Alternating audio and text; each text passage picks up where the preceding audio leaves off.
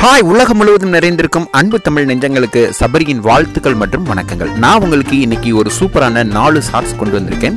அதை தான் உங்களுக்கு ஒரு சூப்பரான வீடியோவாக ஒரு ப்ரெசன்டேஷனாக கொடுத்துருக்கேன். நீங்கள் பார்த்துட்டு இருக்கிறது ஜிலேபி கண்ட மீன் வெட்டர் ஸ்டைல் இந்த வீடியோக்கள் எடுக்கப்பட்ட இடம் முழுவதுமே மதுரை நெல்பேட்டை மீன் மார்க்கெட் பகுதியில் தான். அங்கே இருக்கக்கூடிய ஒரு சாலையோர கடைகளில் தான் இந்த வீடியோ எடுக்கப்பட்டது. கண்மாய் பகுதிகளில் பொதுவாக அதிகமாக கிடைக்கக்கூடிய இந்த ஜிலேபி வகை மீன்கள் பார்க்குறதுக்கும் சாப்பிட்றதுக்கும் ரொம்ப ருசியாகவும் ரொம்ப கறி மிகுந்த ஒரு பொருளாகவும் இருக்கும். கடல் மீனை ஒப்பிட்டு பார்க்கும்போது இதை வந்து நீங்கள் வெள்ளை மீன் அப்படின்னு சொல்லுவாங்க இல்லையா? அந்த மீன் மாதிரி இருக்கும். நீங்கள் அழகாக பொறிச்சு குழம்பு வச்சு சாப்பிட்றதுக்கு சூப்பரான ஒரு மீன். விலை கம்மியான இந்த மீன் வகைகள் வருடம் முழுவதும் நெல்பேட்டை மீன் மார்க்கெட் பகுதிகளில் அதிகமாக கிடைக்கும். பொதுவாகவே இந்த மீன்கள் நன்னீர் கண்மாய் மீன்கள் சொல்லுவாங்க. இந்த எல்லா இடங்கள்லையுமே கிடைக்கும். ஆனால் அது ஒரு மார்க்கெட் அப்படிங்கிறனால உயிர் மீனில் கொஞ்சம் விலை கம்மியாக ஈஸியாக க்ளீன் பண்ணி வாங்குறதுக்கு ஒரு சூப்பரான இடமா இருக்கும். மறந்துடாம நீங்கள் ட்ரை பண்ணுங்க. அடுத்தது நம்ம பார்க்கக்கூடிய ஸ்குட்டு இது ஸ்குட்டு கணவாய் மீன் சொல்லுவாங்க. சாப்பிட்றதுக்கு பொதுவாக இந்த மீன்கள் வந்து நம்ம பொதுவான வீடுகளில் எடுக்க மாட்டாங்க.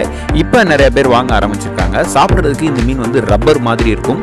இதை பொறிக்கலாம் சிக்கன் கூட்டு மாதிரி வச்சும் பண்ணலாம். பொதுவாக இது ஹோட்டலில் தான் அதிகமாக யூஸ் பண்ணுவாங்க. இது கேரளா பகுதிகளில் யூஸ் பண்ணுவாங்கன்னு சொல்கிறாங்க ஆனால் நான் பார்த்தது கிடையாது.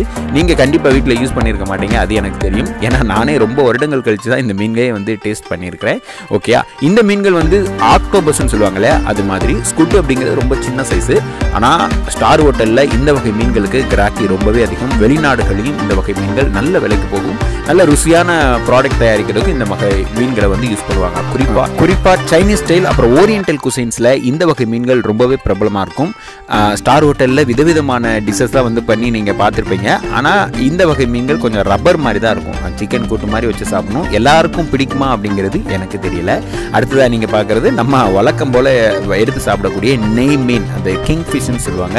இந்த வகை மீன்கள் ஹோட்டலில் விற்கக்கூடிய ஒரு பிரபலமான ஒரு மீன். இந்த பொதுவாக இந்த மீன்கள் வந்து மூணு கிலோ நாலு கிலோக்கு மேலே எடுத்தால் தான் பீஸ் உழுகும். இது அந்த பீஸ் வெட்டுற ஒரு ஸ்டைலை தான் நீங்கள் பார்த்துட்டுருக்கீங்க அழகாக க்ளீன் பண்ணிவிட்டு அந்த மண்டையை வெட்டிட்டு கழுத்து பகுதிகளில் இருக்கிற அனைத்தையும் க்ளீன் பண்ணிவிட்டு ஒரு பீஸ் போட்டு விற்கும் போது ஹோட்டலில் வாங்கக்கூடிய ஒவ்வொரு பீஸ் ரேட்டு கணக்குக்கு இந்த வகை மீன்கள் இருக்கும்.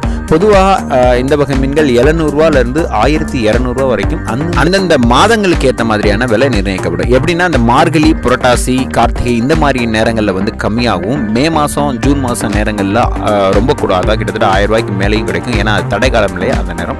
மதுரை நெல்பேட்டை மீன் மார்க்கெட் பகுதிகளில் இந்த வகை மீன்கள் ரொம்ப அதிகமாகவே கிடைக்கும். இந்த வகை மீன்களை நீங்கள் வாங்குறீங்களோ இல்லையோ கண்டிப்பாக வேடிக்கை பார்க்குறதுக்காகவாது அந்த ஏரியா மார்க்கெட்டில் ஒரு சாட்டர்டே சண்டேல ஒரு விசிட்டை போட்டுங்க ரொம்பவே சூப்பராக இருக்கும். ஏன்னா நிறைய விஷயங்கள் நீங்கள் பார்த்து தெரிஞ்சுக்கலாம். அடுத்ததாக அடுத்ததா நம்ம பார்க்க போகிறது ஒரு சூப்பரான டேஸ்டியான ஒரு நண்டு கிரேவி அதாவது கிராப் மசாலா எப்படி பண்ணுறதா பார்க்க போகிறோம் இது வீட்டு மெத்தடில் பண்ணக்கூடிய ஒரு விஷயம் அப்படிங்கிறனால மசாலா அந்த ட்ரை மசாலாவை வறுத்து ஃப்ரை பண்ணுற அளவுக்கு வறுத்துக்கோங்க. அப்புறம் ஆனியன் டொமேட்டோஸ் அப்புறம் போடுறதெல்லாம் போட்டு கிரேவி மாதிரி ரெடி பண்ணிக்கோங்க. அதுக்கப்புறம் அதை தாளிப்பு போட்டு அந்த அரைச்சி வச்சதை அந்த தாளிப்பில் போட்டு கொஞ்சம் நல்லா ஃப்ரை பண்ணிவிட்டு அந்த பொன்னிறம் சொல்லுவாங்களே அந்த மாதிரி ஃப்ரை பண்ணிவிட்டு அதுக்கு மேலே நீங்கள் சேர்க்கக்கூடிய அந்த சீசனிங்ஸ் எல்லாத்தையும் போட்டுக்கோங்க. போட்டு அதுக்கு மேலே தான் விஷயம் இருக்குது மதுரை நெல்பேட்டை மீன் மார்க்கெட் பகுதிகளில் தனியாக வாங்கப்பட்ட நண்டு கால்கள். எனக்கு அந்த அங்கே வந்து நண்டு கால் வந்து தனியாக கிடைக்கும்.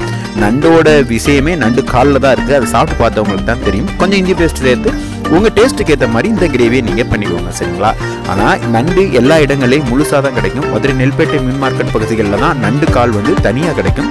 அதை மறந்துடாதீங்க. கண்டிப்பாக இந்த வீடியோ உங்களுக்கு பிடிச்சிருக்குன்னு நினைக்கிறேன். அடுத்தடுத்த வீடியோக்களில் நிறைய விஷயங்கள் பார்ப்போம். மறந்துடாமல் நம்ம சேனலை சப்ஸ்கிரைப் பண்ணுங்கள் பாய்